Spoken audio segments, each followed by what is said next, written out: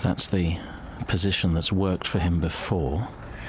And for this young man, it's time to play with the big boys. Little look. There he goes. Away the lads. Ouch. And down. And that's the hit of the whole fruit. Oh, that's nice to see. That is nice. That's a helmet full of pleasure. Right there. You know when you've been tangoed.